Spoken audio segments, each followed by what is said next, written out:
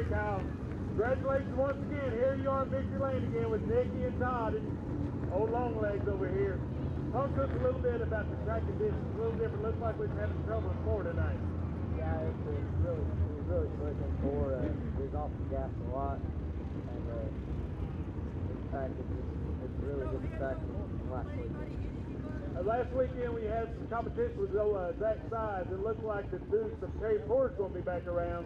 So you're not going to be able to walk through this year and win them all by yourself.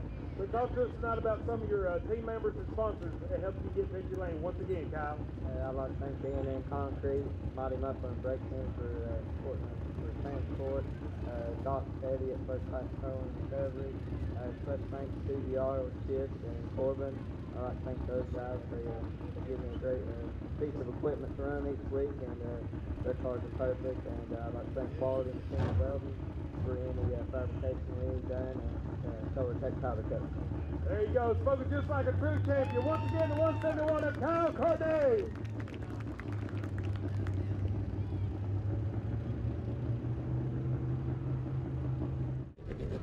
Our reigning track champion changed his number, made it confusing for me, but I figured it out now, John.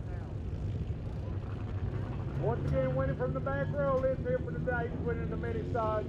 Track champion, third time in a row, John Byers.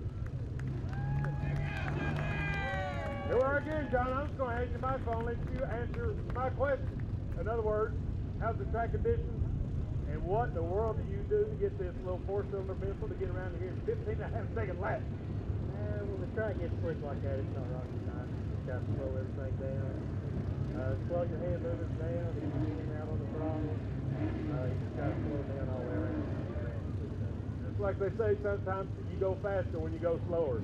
Talk to us about some of your uh, crew members and sponsors to help you once again get Victory Lane and dominate tonight's mini stock feature. Uh, guy on the hood, uh, Tommy Newton overseeing him in the tool shop. Uh, Mark State King overseeing taxi work. Uh, uh, Any family members, maybe? Uh, let's see, where's my grandfather at? He's up there. So he ain't up there today. He's my biggest fan. He never misses a race, so he's out today.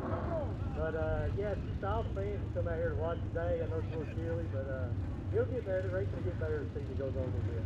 There you are. Once again, tonight's winner, our current track champion, used to be the J3, now the 88, uh, John Byers. Alrighty, classic. I think it's the classic. Well, I'm now the classics. Let's hear for tonight's winners, winning from the pole in the 33X. Let's hear for Robert Skinner. Congratulations, Robert. Congratulations on that win. Before we talk uh, to you about your sponsors and the folks that helped you get Victory Lane, if everyone was here with us tonight during the heat event, he figured it out that there was trouble up in turn four. There was no momentum up there. You kept it down low in the heat event to start on the pole. Kept that same consistent line during the feature and brought it home for Victory Lane. Talk about the heat lap, uh, the preliminaries, and then tonight's feature. I just kind of watched what Cameron's been doing over the years and followed where he went. That's, that's basically it. Now, a lot of folks know Cameron used to drive this car, and I understand from his dad, Robert, he's moved up to crates. So hopefully we'll see him down here in the crates in the in the near future. Robert, talk to us about some of your crew members and sponsors that helped you get Victory Lane winning from the pole. Well, with this car here, it's been me, but uh, got a Bobo guy working with me. He's here tonight helping me. Jason Welsham and Roger Kerr. And uh, they're helping us out along with the crate car, and he's traveling with Jason. There you go. Uh, Roger, Jason Wilson and Roger Kerr, that's two good names to have working on your race car. Once again, before we get our pictures taken, let's hear for tonight's winner in the Classic, Robert Skinner. I've been interviewing this man at least once a year. Let's hear for tonight's winner in the late models, driving the Deuce, Jason Wilson. Congratulations, Jason. All right, you started on the pole. Looks like you didn't have a whole lot of attention up there on the lead. There's a great battles back for second and third. But talk to us about the track and qualifying on the lead spot. You know, I, I really like the racetrack like this because it puts the driver in the race car hands. It's a whole lot more racier and easier on the And I got to thank everybody here at 411 for preparing this racetrack and putting this on for us. I got to really thank Danny and Susan Yoder for letting me wheel this Masterbuilt race car. Uh, last week at Smoky Mountain, I kind of destroyed two of my race cars. kind of hit the wall in the same spot with both of them. I was kind of wondering if it was me or, or what it was, and uh, you know, I really got to thank the Yoder family for giving me the opportunity to drive this car today, and uh, uh, I hope I get to drive it again. Uh, I got to thank my mom, my little girl, Emily Welton, uh, my fiance, Leanne. I'm glad you mentioned her.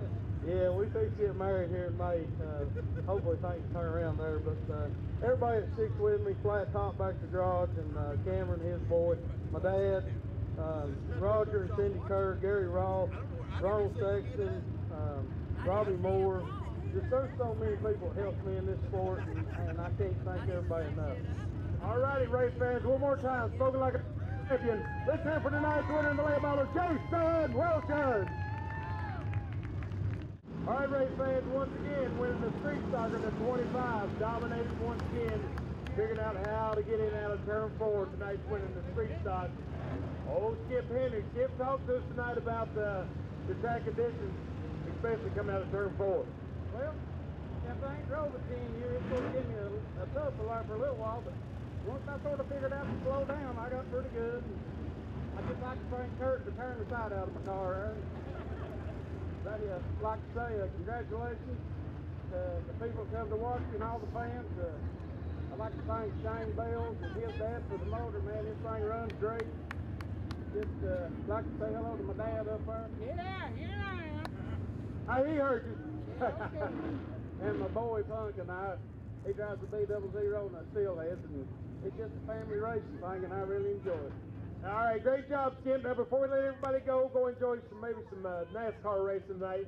What uh, possessed you, just that nerve of racing, to get out of retirement and bring back this street soccer down here to 411?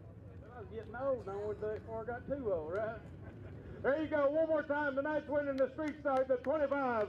Skip Henry.